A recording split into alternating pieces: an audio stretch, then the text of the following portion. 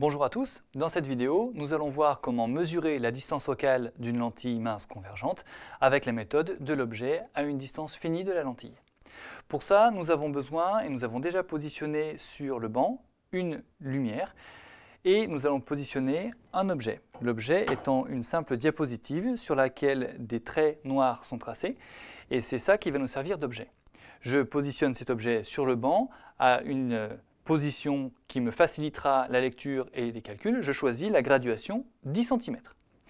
Deuxième étape, je vais positionner sur le banc l'écran et je vais le positionner à une distance suffisamment grande de l'objet. Je choisis par exemple 1,20 m de distance, ce qui me donne la graduation 130 pour la position de l'écran. Troisième étape évidemment, troisième objet, la lentille que je positionne sur le banc et je vais déplacer cette lentille de manière à chercher l'image de l'objet par la lentille sur l'écran.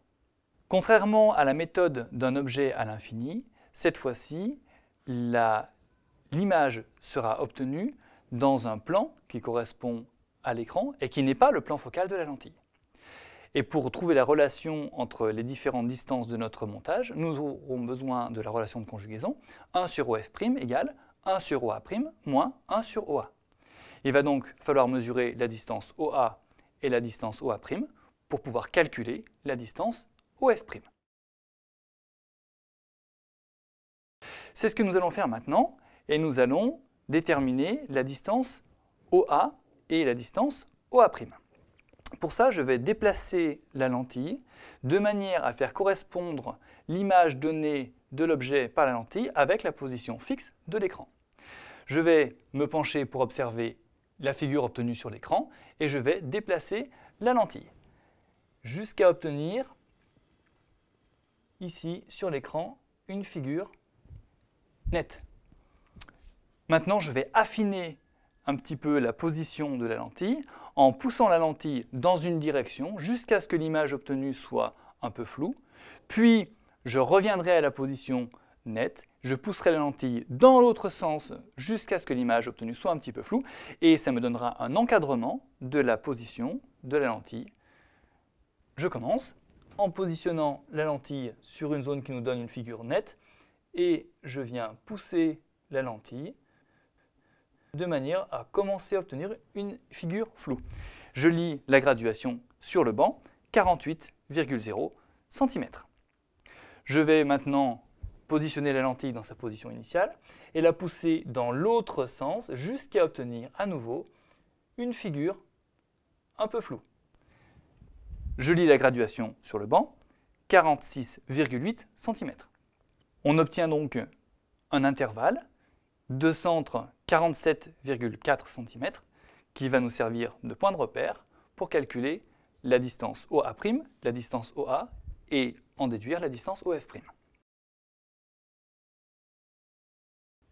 La lentille correspond au point O. Le centre optique de la lentille, c'est le point O. L'objet constitue le point A et l'image obtenue sur l'écran, le point A'. Pour déterminer la distance OA, on a besoin d'avoir un sens de repère.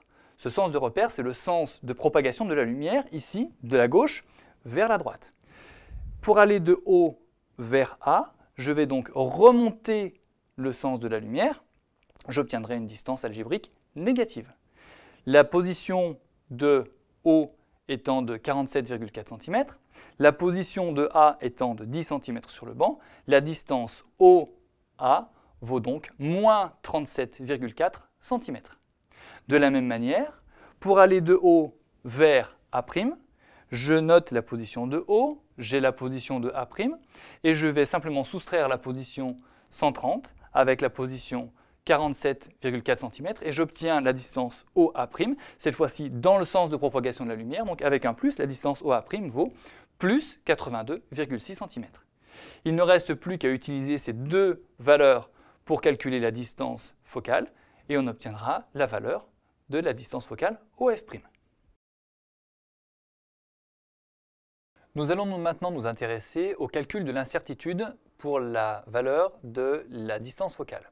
Pour cela, nous allons commencer par choisir un indice de confiance associé à une euh, valeur de 95%, c'est-à-dire que nous souhaitons que la valeur donnée à la fin, l'encadrement donné, euh, soit, euh, encadre la valeur vraie avec une confiance de 95%.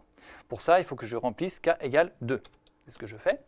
Deuxième élément à remplir, l'unité. Je souhaite faire les calculs en millimètres. Et nous allons maintenant, euh, étape par étape, nous intéresser progressivement au calcul de l'incertitude sur la distance focale. Premier élément, nous allons chercher les incertitudes sur les positions de O, de A et de A'. Deuxième étape, nous les combinerons pour chercher les incertitudes sur les distances OA et OA'. Et enfin, troisième étape, nous combinerons ces incertitudes-là pour obtenir la certitude finale sur la valeur de f', la distance focale. Première étape, intéressons-nous à l'incertitude associée à la position de l'objet A. L'objet A est fixé, c'est l'objet, il est fixé sur le banc, nous n'avons pas déplacé. Il est donc entaché d'une seule source d'incertitude. Cette source d'incertitude, c'est la lecture que nous faisons de la graduation sur le banc optique. Cette résolution de lecture, elle est de 1 mm et c'est la seule source d'incertitude. Je remplis donc 1 mm dans cette zone-là et j'obtiens ici directement l'incertitude associée à la position de A qui vaut 0,5 mm. Deuxième élément, l'image A'. Cette image, elle est recueillie sur l'écran L'écran est fixe, il ne bouge pas. On a donc une seule source d'incertitude associée à la position de A'.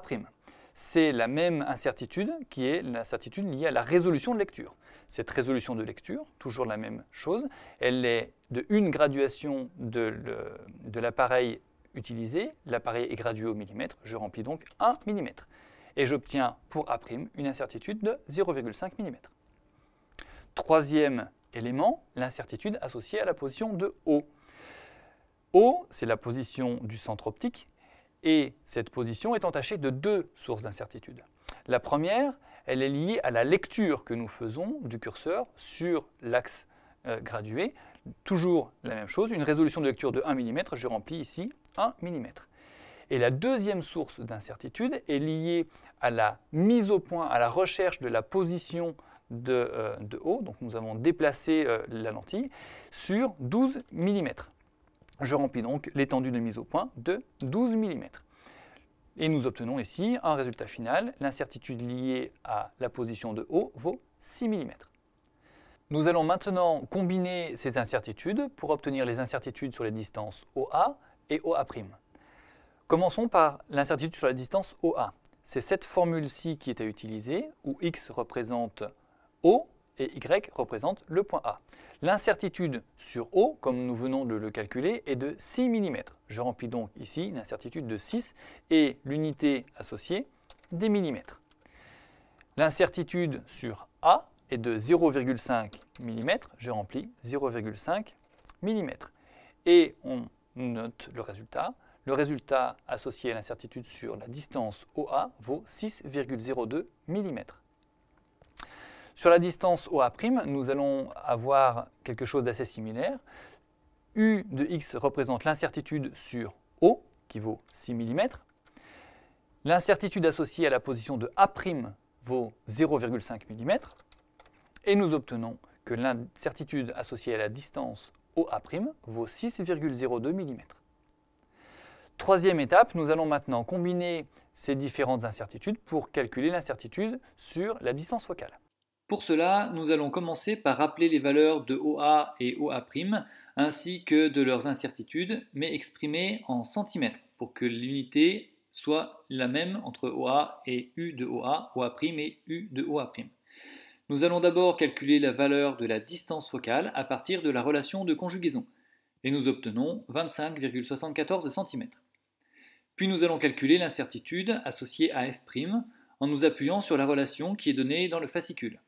En remplaçant chaque expression par la valeur qui est indiquée au-dessus, nous obtenons une incertitude sur OF' de 0,291 cm. Cette valeur, nous allons l'arrondir pour ne garder qu'un seul chiffre significatif, arrondir à l'excès pour obtenir 0,3 cm. Il nous reste maintenant à exprimer f' et son incertitude en ayant pris soin d'arrondir la valeur de f' avec le même le dernier chiffre qui correspond au rang du chiffre significatif pour les incertitudes. Le 3, qui est le chiffre significatif de l'incertitude associée à f', est au rang des millimètres. Nous allons donc arrondir la valeur de f' au rang des millimètres. Nous obtenons ainsi que f' s'écrit 25,7 plus ou moins 0,3 cm. À la suite de cette manipulation, nous pouvons faire trois remarques. La première, c'est qu'il existe en fait deux positions de la lentille qui nous permettent d'obtenir une figure nette sur l'écran. La première est ici, et en déplaçant la lentille, on se rend compte qu'il existe une deuxième position qui nous permet d'obtenir également ici l'image nette sur l'écran. La deuxième euh, position nous donne une image qui est plus petite, mais beaucoup plus lumineuse, moins facile peut-être à utiliser. Deuxième euh, remarque, quelle que soit la position choisie pour la lentille, qu'il s'agisse de la première ou de la deuxième position qui donne une image nette sur l'écran, l'utilisation de la relation de conjugaison nous donnera la même valeur pour la distance focale. Troisième remarque, cette méthode n'est utilisable que dans certains cas. En effet, il faut que la distance entre l'objet et l'écran soit supérieure à 4 fois la distance focale. Évidemment, souvent, on ne connaît pas d'avance la valeur de la distance focale. Ce que l'on fait alors, c'est que l'on va placer l'écran le plus loin possible de l'objet et on va ensuite positionner la lentille de manière à chercher la position qui conjuguera la position de l'objet à celle de l'écran. Dans notre cas, on a un banc qui fait 2 mètres de long.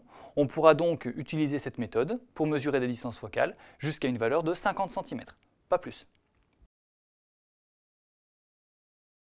Remémorons-nous les étapes permettant d'utiliser cette méthode.